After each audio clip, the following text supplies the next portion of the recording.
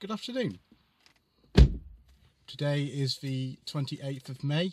Um, as you can see, we've got different surroundings today because I'm at my mother's house and um, I've been uh, keeping an eye on her for the last couple of days while she um, has been um, recovering from her procedure. She didn't really need to recover from it, really. She she's perfectly fine. Those of you who've asked, thank you very much. She's absolutely fine.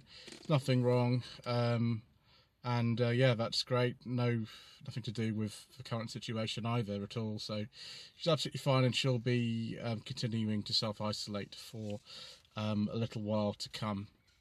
But what um, I'm going to talk about today, and it's something that I think a lot of people have been asking me, although there is already a video um, about this topic on my channel that I will take down now because it's just going to be a worse version of one I'm making today, and it's how many cars have I owned um, in a course of my driving career since September 2001, and what sort of cars they were. I'm not going to um, make a lot of individual snippets of this. There's quite a number of cars on this list, and um, I'm, I'm going to combine some of some of the segments together because it will be easier for me to to edit that way. Uh, but you will see pictures or representative pictures of all the cars that I've owned. I don't have pictures of some of the cars, and so I've had to find um, some of the images from Google. Um, I've covered up number plates where um, they're not the correct ones, um, but I do have um, images of all the cars that I've owned or representative ones. I've also thrown in a little bit of video on one of the cars just because I had it to hand. Um, I don't have, I do have video footage on others, but it's a bit difficult for me to extract it from quite long videos. I just happen to have some um, a couple of clips of one particular car that's easy for me to access, so I'll put that in. Anyway, let's get started.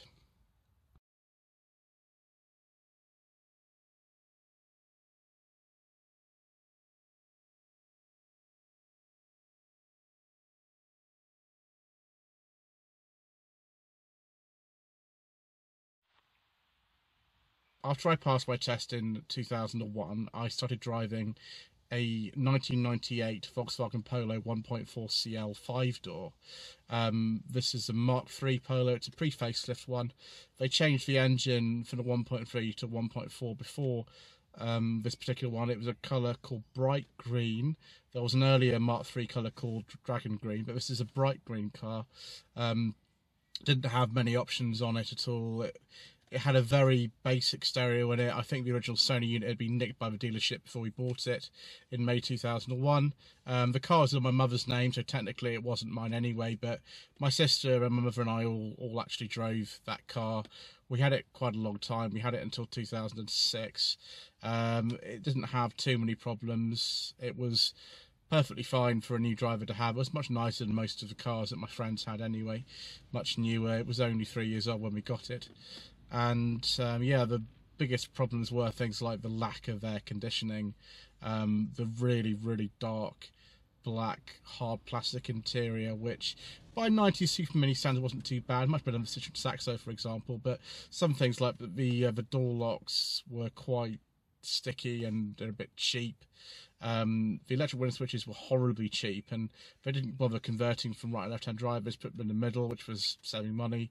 And the radio that they left us when we stole the original Sony unit was horrible. It was a Volkswagen commercial vehicles unit, and it never worked properly. It was really bad, actually. Um, so you know, if you buy a Mark III Polo, make sure something didn't steal your nice stereo. Um, when you uh, when you're when you're selling it if you don't want them to take it the next car that actually this was one that I had in my own name. Um, it's a 1997 Mazda 323F 1.5 Innsbruck Special Edition. The car that I've shown on the pictures is not an Innsbruck Special Edition, that's a V6. But they look very similar. The alloy wheels were different, they were three spoke and not five spoke on the Innsbruck Special Edition. It was this particular colour.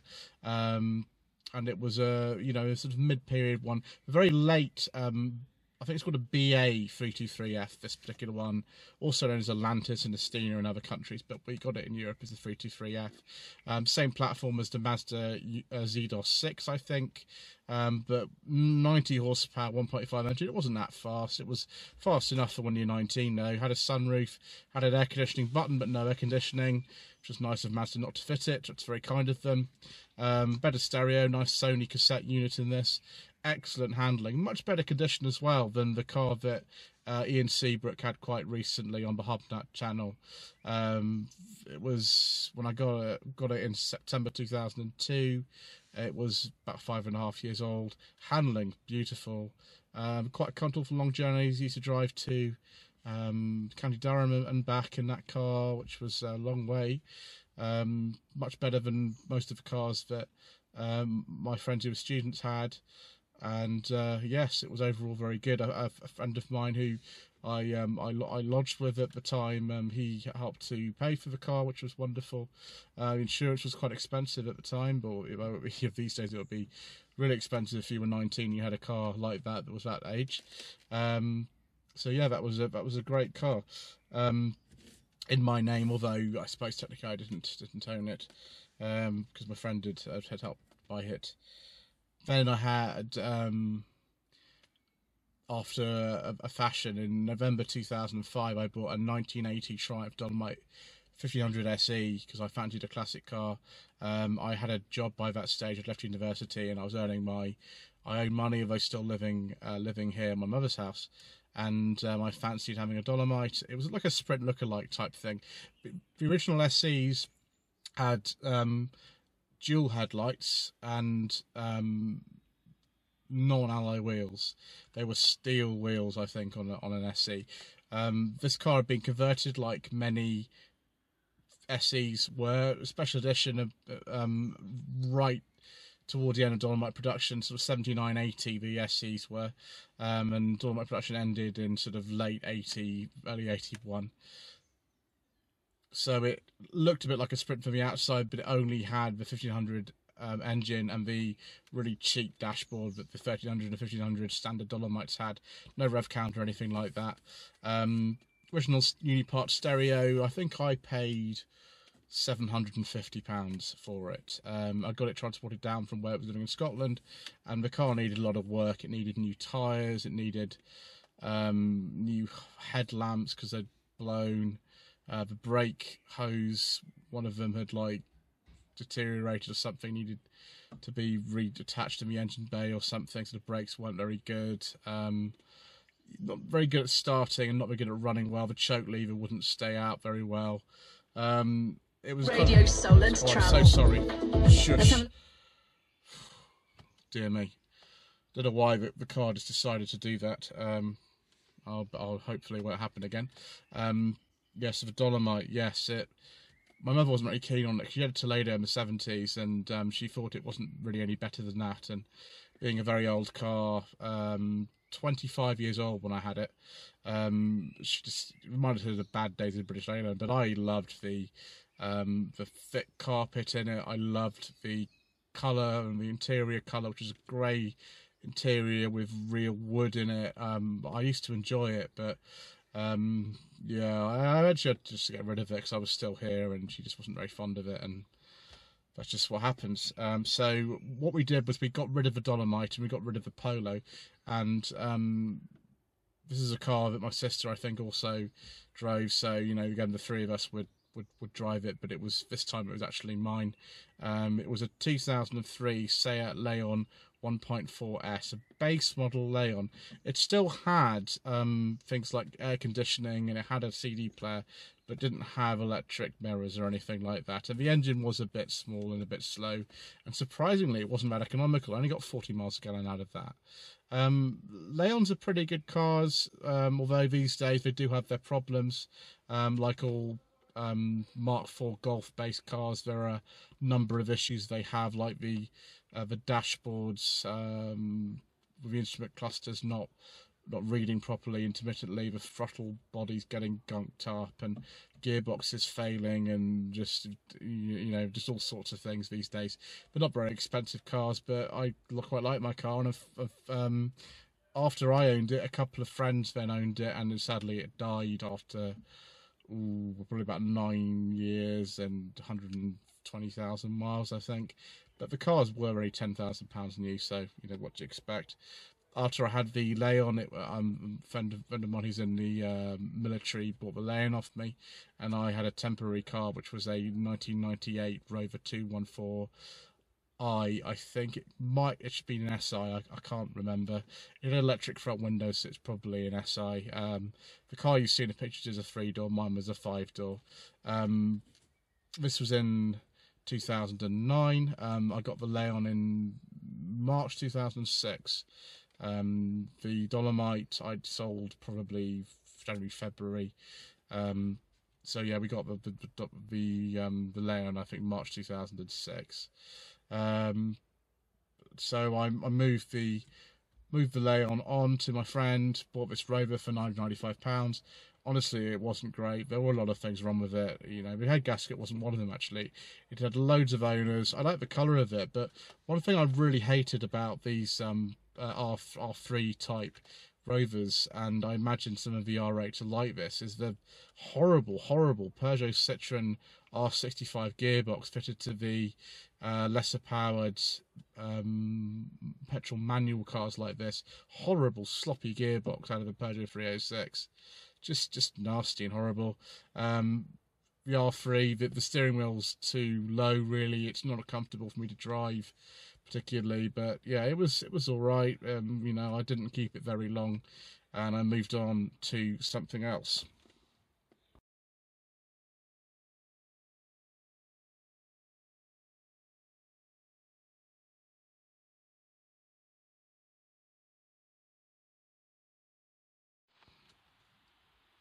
That's something else was a 2004 Rover 45 1.4 Club SE. I got that in October 2009. Um, it's either October or November. I can never remember which. It's something around that kind of time. Um, and uh, I managed to offload the uh, Rover 214 to somebody. And um, I really enjoyed the Rover 45. It already had a head gasket replacement. Um, five and a half years old. It had done, I think, six, 65,000 miles, something like that. So it wasn't that low mileage um, when I got it, particularly. Actually, no, maybe more like 50, 58, something like that. Maybe maybe I'm being a bit disingenuous to it. Um, lots of things didn't work very well. It needed a new tyre instantly, pretty much after I got it. Um, the cam cover gasket was leaking. Classic thing which happens with um, with 45s um, post 2003 is the body control unit in the dashboard gets water in it and then fails. And then the first sign of that is the driver's um, one shot power window fails. And then with those cars unless you have the original pack that the remote came in with the barcodes um, you can't reprogram new new ones unless you have an original pack with barcodes on them. They're quite difficult to find. So if you're buying a 45, make sure you've got one with a square, not a round remote. Um, they changed in mid 2003, although bizarrely, that wasn't really a facelift. They just changed things like the um, engine to Euro 4 compliance for petrol and um, they changed some of the instruments on the on the dials, but it didn't change the actual dashboard, all the front and back until 2004, which is really strange. So the change under the skin were sort of done, and they changed the suspension settings on the 45s, and this was a late one. It was just a base engine, but the Club SE had loads of things. It had um, lumbar adjustment on the driver's seat, climate control. It had um, uh, parking sensors, which I was really looking for a car with parking sensors. Mine was a colour called Pageant Blue. Um, the seats weren't leather; they were sort of a nice cloth. It was a nice looking car. It was comfortable and nice to drive. Um, although you know the number of things that went wrong with it was just ridiculous. I think I just had a bad car, and obviously the post facelift ones they have the problems with electrical systems and Something like that, which um, you know isn't the best really. Um, so I actually then inherited some money, and I um, moved it on to somebody for a ridiculous amount of money in 2012, and and bought myself a demonstrator. Uh, one year old Chevrolet Cruze 1.6 LT. It was um, from a garage in Tunbridge Wells and it had done 5,500 miles. I think I paid 9,000 500 for it, um, which wasn't bad for a car at that age, really. Um, I really enjoyed it. It um, it wasn't quite as kind of comfortable to ride in as the Rover because the suspension was a bit further. The electric power steering made it doesn't didn't it wasn't engaging to drive as the Rover, um, but you know more space, better space at the back, better finished interior, under warranty, um, just a, just a good car. Um, they're really good cars of their time, and they're so cheap now. Um, the main issue I had with that car actually was the um, the rear visibility when people used to borrow it was quite bad. So obviously, again, parking sensors and um, the drive shaft oil seals on Cruzes always seem to leak. I don't know why. They all do it, and this one did it. Like my next car that I I had, I, I sold that one to a friend and then went on to a um, a 2014 um, Chevrolet Cruze 1.7 diesel. You can actually see this car in Tweed Jacket reviews if you want to. Um, pretty much the same. A few minor changes in equipment. This is a post facelift one. The 2011 car was a pre facelift. Much more power, much more economy, much more torque. Um, nicer to look at. Wasn't so keen on the blue colour particularly. Um, but they got pretty rare by 2014. I got mine from a car supermarket. Um, which is in Portsmouth, I think, and I paid seven thousand five hundred pounds for it. Um, it was around eighteen months old um, when I got it, and it had done twenty five thousand miles. So it's quite high mileage, but you know they put some new tyres on it for me and serviced it, and yeah, the only problem I had with that was the diesel particulate filter when you didn't change the oil, the oil in it, because we we we um, actually shared these two cars, with Black Chevy and this one, uh, between four of us. Four of us were driving these cars um, at once, and um, you know I was lending it out to a lot of people, and we were racking up 17, 18,000 miles a year doing various things, um, particularly in, in the, in, the, diesel Chevy because the economy was very good in it. Uh, nice punchy car, six-speed gearbox. First car I had a six-speed gearbox. Um, and yes, I, I very much enjoyed it. I only got rid of it really as I said so many times, due to the, the ultra emission zone being announced in uh, in sort of May 2017, and um, I, I moved it on for an, a car we'll speak about in the next section. But in parallel to the diesel Chevy Cruze, I decided I wanted another classic, and I bought myself a 1996 Rover 216 SLI automatic, an RVR8 shape. Now we think the car was made in 1995 because although the car had registered 31st October 1996, um, they had finished production of the five door R8s by then. They got into the R3 shape. Um, 200. So yeah, it was was been hanging around for a while at a dealer unsold somewhere. Um, Nightfire Red automatic. Um, I really liked it. The reason I got rid of it actually was because um, I didn't do my homework properly, and um, although I didn't pay that much for the car, I think six hundred fifty pounds, very low mileage, I think forty five thousand miles. Lots and lots of things wrong with it. My gosh. Um, cam cover gasket leaks three times. Electric rear window electric didn't work um, glove box didn't shut properly. The, the windows w- would go up and down, but very slowly, and sometimes you had to help them a bit go up. Um, electric sunroof worked very well though, and um, it's quite nippy around London. You could uh, get some tyre squeal going in that car. Um, I did quite long journeys in it sometimes as well, and it, it never broke down on me or anything. Um, but I found out towards the end of um, had the car that actually that car was a Cat D write off. That's why I always check to see cars I buy and uh, you know um, whether or not they are you know written off or anything. Um, so I actually traded that car in, and I'll tell you what I traded it in for in just a second.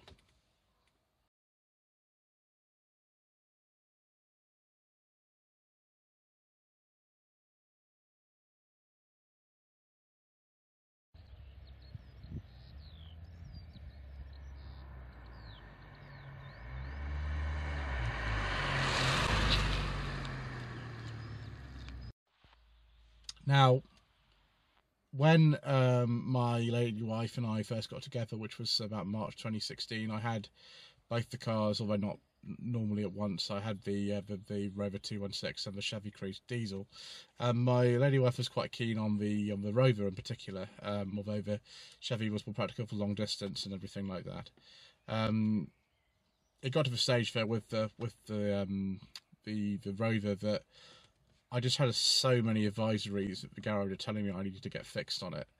Uh, I don't even remember what they were, just long as my arm. And you know, this is is the MOT plus just general service advisories on it, and you know, I, I it done 13, 14,000 miles in a year, and you know, a lot of us have driven it, and um, it was it was okay, but I, I felt I needed to be a bit more practical, and um, by this time, I, my lady wife was sort of, although we weren't, weren't even engaged at this time, um, she was sort of hinting to me that actually she would probably like to learn to drive, which is good. Um, and I didn't I didn't want to, you know, subject her to an automatic Rover um, that was 20 years old um, for her first car. I, you know, I think that probably was not the best thing um, for her to drive around.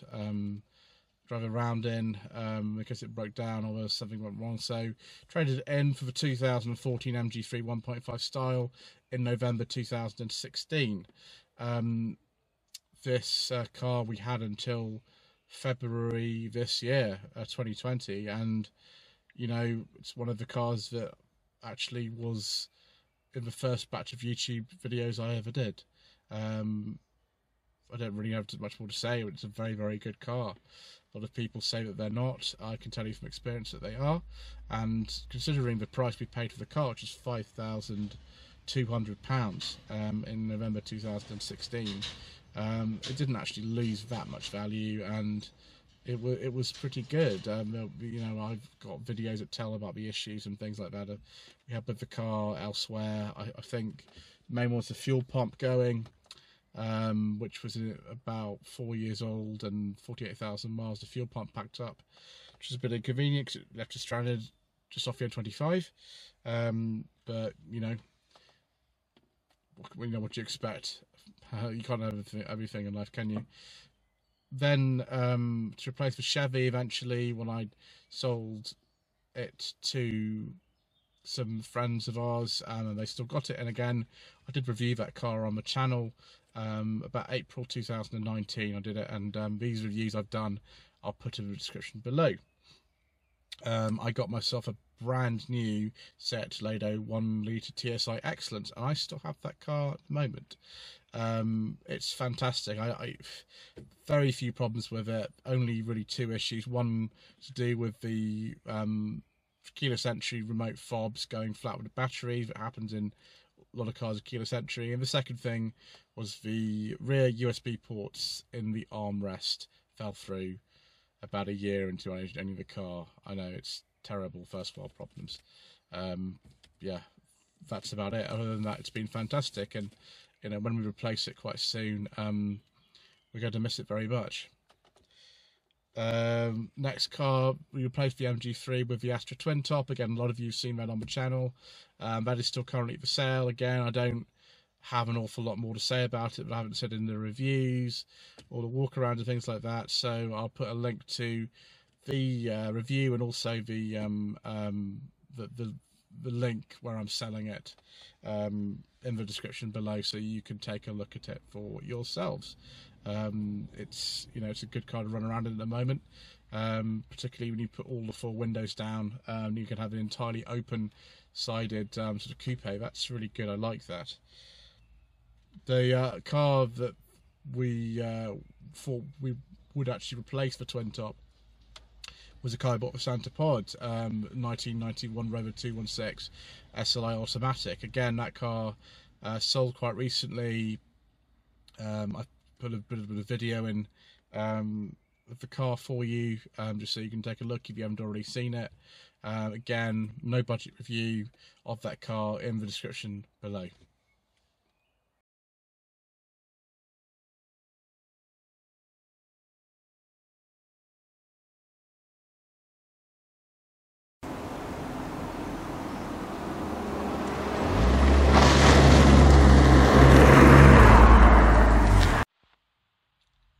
So those are most of the cars I've actually owned. Um, and yes, they aren't the only ones I've had. I bought some cars for the Santa Pod um, challenge um, over the years. Um, first time we did that was in 2017 uh, for my stag weekend actually, and then subsequently I bought a, a, you know a number of others, and I'll just go through them uh, with you now because there's quite a lot, and then we'll, we'll talk right at the end um, in the last section about cars that either weren't in my name but I used to drive an awful lot, or cars that I didn't own properly. If that makes sense. First one, um, I'll talk about 1993 Proton 1.3 um, MPI GLS Saloon. Um, that was bought from uh, Southend, and um, I think I paid £200 for it.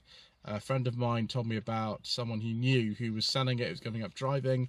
Car had done 44,000 miles. It'd been in the same family since new, and it really hadn't moved for some time. We literally jumped started it outside this lady's house. Um, I think probably nine months after it had last moved, and it fired up straight away, having it on a jump start. Um, car needed loads of things um, if you wanted to keep it, but I really didn't. Um, the gearbox clutch was fine. We got the bonnet repainted in sort of matte black because um, it was horrible and scabby and nasty. Um, again, not like reason we didn't go to Santa Pod this time, but we didn't go to Santa Pod in the end of the car um, for the racing. We actually drove to a different event, Santa Pod and back, and it was fine.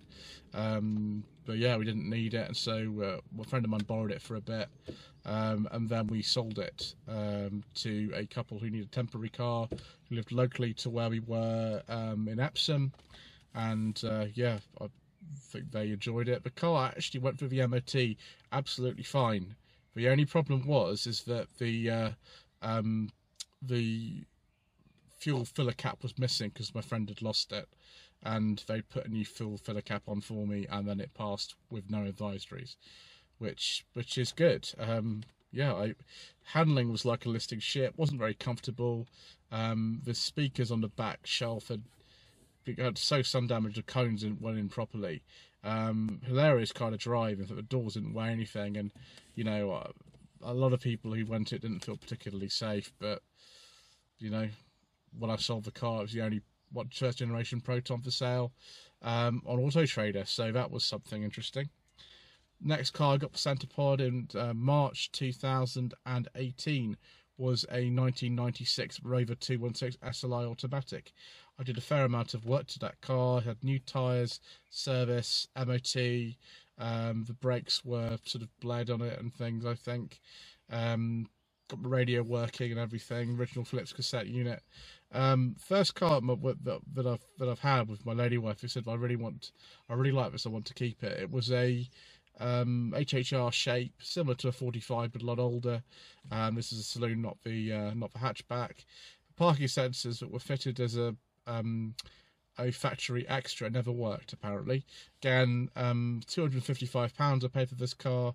It was um, owned by the same family from you, local family in um, to Epsom. Um, and uh, yeah, I picked it up in a very snowy day and uh, enjoyed the um, slightly bald tyres on the way home. That was fun. Um, when then uh, once I got home, I went straight to straight to the tyre place to get some new tyres on it because I didn't want to die. Um, which was, uh, yeah, it was fine. It just, again, we had too many cars, didn't need it. Went to Santa Pods, did really well. Um, yeah, Honda engine and gearbox. What can I say? Uh, same as a lot of the other cars I've had. Um, next car, 2003 Rover 25 1.4 IL. Um, again, bought the Santa Pod. Bought it actually down here, although we hadn't quite moved down here at that stage. I bought it from local man in Eastleigh. Um, I think his father had owned it or something. Horrible colour, disgusting colour, but you know, there we go. I shouldn't maybe have bought it really because the um, the car was not comfortable for me to drive. Um, the 25s and R3 200 just aren't comfortable for me. I don't know what it is, but it might be the steering wheel is too low. It might be the fact that the seat's not supportive. 45s I don't have a problem with. 75s, 600s, R8s, no problem. Just the 25s and the R3200s I have a problem with and I don't find comfortable. Um, but it went to Santa Pods. Uh, it, a, it actually performed really well. Um, little K series. Uh, gearbox was a Ford unit because in mid 2003, the 1.4, 1.6, 25s, 45s got Ford gearboxes, as opposed to the, the Rover built ones, which were based on the old Peugeot UT25 and the PG1 Honda designed units in the 45. And it was, it was a Ford gearbox, generally pretty good. The 45 I had had also had a Ford gearbox in it, and that was good. This is a bit knackered, um, but yeah, it was it was all right. Um, the car I sold for that car for exactly what I paid for it, four hundred pounds. Um, again, a local lady picked that up and took it away. Um, next car was the uh, car you saw in the video clip, 1998 Rover 620 GSI Automatic, um, which there's lots of videos on on my channel, the Santa Pod Challenge for 2019. Um, that uh, I paid 320 pounds for. Quite a number of things wrong with it. I don't know why people go on about the car so much. It really it, it, it's an interesting car, but it, honestly, in my opinion, wasn't that good. I, have had much better cars than that, um, even some I paid less money for. Um, so, yeah, I, it was fun, but again, I got back what I paid for it, three hundred and twenty pounds, and I spent a fair bit of money on it. So it's all right. It doesn't matter that particularly, and we had a lot of fun with it, and it provided us with lots of content for our respective channels doing the Santa Challenge. But um, it really wasn't as good a car as a lot of people tell me it was. I mean, the person who drove it. Um, I think I'd probably know about it. Um, and yeah, the, mysteriously, the people who were so enthusiastic about it didn't want to buy it after the end as well. So, what can I say?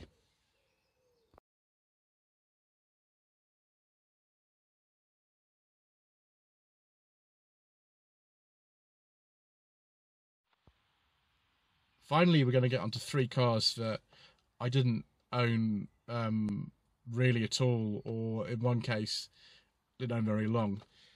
First one, 1998 Mazda 626 2 litre GSI. Um, that was the car used at my stag weekend where uh, 10 of us went used the same car to do runs at Santa Pod, and we did 14 runs in a day, and it performed really, really well um, really, really well. It, it was actually probably cause it's a manual, probably even slightly faster than Rover 620 there.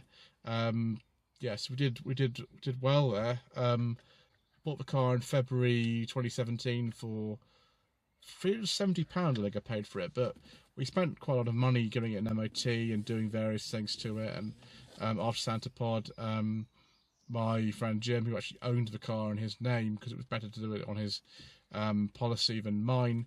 Um, he um, changed the cam in it and he kept it for use for his family for about six months, I think, after Santa Pod, which is June 2017. So he had a spare car lying around a lot of the time, which was quite handy for various things. Um, 12 disc CD auto changer, um, electric sunroof, climate control, it was uh, was pretty good. It could have done cruise control in my opinion. Gearbox was um, a little bit worn, but it had a new clutch in it, which was fantastic. Um, we had to fix an ABS sensor. One of the brake hoses needed changing. Uh, needed some new tires, but no one seemed to care. We had a great time. One of these days, I'll probably release the video that my friend Richard Jackson, who owns the MG ZS SUV, that you would have seen in some of the videos that um, um, that, that I've done, um, particularly with True Jacket Reviews episode. Um, he filmed the video for us and made it, and it was it was a lot of fun.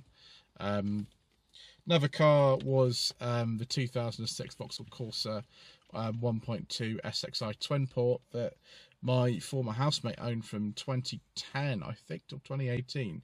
Um, he learnt to drive in 2010 and he passed, and I very often used to use his car. Um, there's not much to say more to say about it though. It's a Corsa. Um, he didn't do a lot of miles in it. I I would just keep it running for him and sometimes drive it to my mother's house and back from Epsom, which is about an hour and a quarter, just to keep it sort of running for him in case you, know, you need it for the weekend or you go away. He didn't even use it for work because he commuted to central London by train.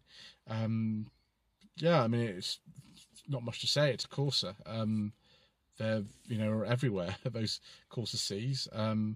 Relatively economical, quite under geared. Um, fifth gear is very low in a, a car like that. It's revving 4,000 RPM at 70 miles an hour, which can't be good for economy. It certainly was made a bit loud. Um, yeah, it's not an awful lot to say about it other than that he had it and um, he sold it eventually um, after owning it for ages. Um, I think one of his relatives had owned it before him and it had done 12,000 miles in eight in four years. Um, Ex Motability car, I believe. Um, so yeah, you know, he doesn't even own a car anymore. Lives in Islington, doesn't need one. So yeah. Um, last one, 1996, Suzuki Vitara 1.6. Uh, I think it's a JX. This one because it had manual windows in it.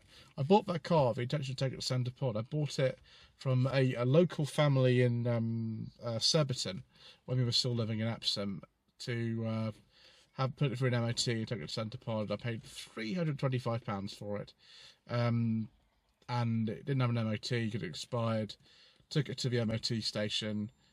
They basically said to me it needs um, a bit of work. And I looked at the cost of it and I thought, no, I'm not I'm not even going to bother. Um, I'm not going to bother doing it. I'll just uh, get it parked up on a on a friend's drive, which is what I did. Um, and um, so we sold it with no MOT, and actually I made a slight profit on it because um, for some reason everybody want wants these Vitaras to go and use as farm vehicles, or I think actually the car had an MOT um, redone on it, which they're able to this chap got through the trade, and I think I got four hundred and twenty pounds for it.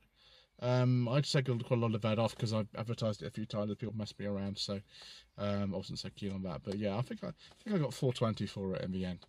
So that's it. That's virtually an entire car history. I, am not going to do my mother's cars at the moment. Um, uh, I don't think it's quite the right forum for that, but um, thank you ever so much indeed uh, once again for watching. Um, don't forget to subscribe to the channel if you haven't already done so. Like this video and uh, leave a comment below. Um, don't forget to visit my Facebook page, facebook.com forward slash Lloyd Consulting. And also, I've got an Instagram account, instagram.com forward slash Lloyd underscore vehicle underscore consulting. Thank you ever so much indeed for watching.